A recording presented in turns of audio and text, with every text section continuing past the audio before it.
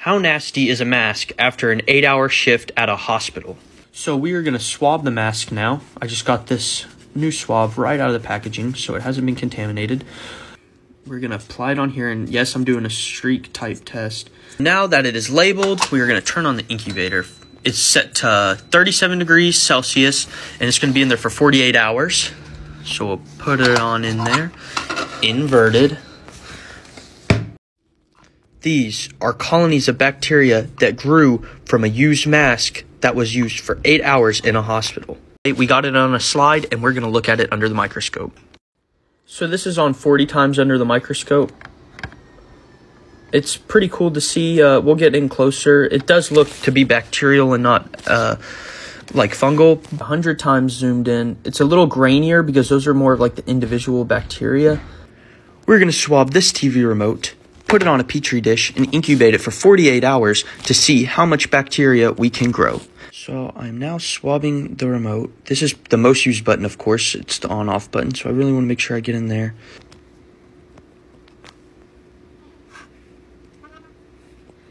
Back and forth. So here it is. Here's the TV remote. So here we have on 40 times. You can really see more closely the individual pieces of bacteria. And yeah. So I actually just got these brand new petri dishes in, which I've wanted for a while. They're called blood agar, so they contain lamb blood, so it's supposed to actually help different colonies grow. So we're going to apply the uh, swab to this blood agar now. Streak it. Have you ever wondered what bacteria was on raw meat? So those white cream ones, I know it's hard to see because it got a little fogged up, but like those big white cream ones, those kind of match what E. coli can sometimes look like. So the main bacteria you're looking for on like raw meat is E. coli, Yersinia, I think is how you pronounce it. I might be pronouncing it wrong to be honest, but uh, you can look it up, and also Salmonella. I don't see Salmonella or Yersinia, I believe.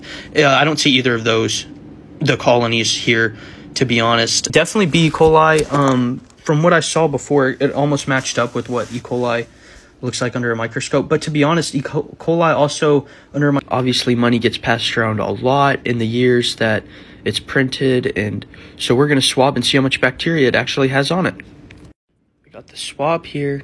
I'm just gonna move it all around the sides and stuff. I'm gonna get back and forth onto the petri dish. At the top, hopefully with 40 times we can actually see individual microbes.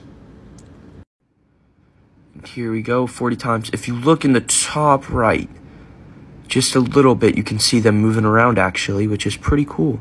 Swab all over. And we're gonna apply it to the petri dish. All right.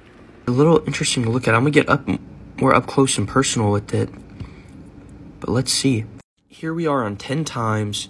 Still weird the color differential there and everything, but uh, yeah, we'll get a little more close and see if we can see anything better. So this is on 40 times and it's really interesting. I don't know what that is. I've never seen anything like that in, in one of the colonies. So please, if you know, comment down below and enlighten the rest of us. And today we are going to do an iPhone. I had a lot of requests to do an iPhone. Get the swab nice and dirty. Do the sides. I promise you I am not hitting the table. It's just on the phone. Exact format across the whole thing. We are going to put this in upside down because I saw some comments saying to do it. There we go. And voila. So we have a big colony right there. Those little cream like white ones are just the normal bacteria that's everywhere.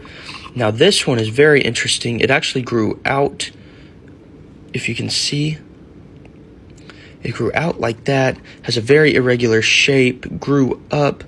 Definitely looks more like a fungi than like a mold or mildew, more so than like regular colonies of bacteria. We'll zoom in one more time and see what we can see.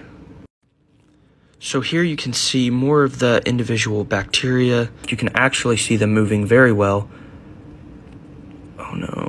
There we go. You see them to the top left. They're moving around.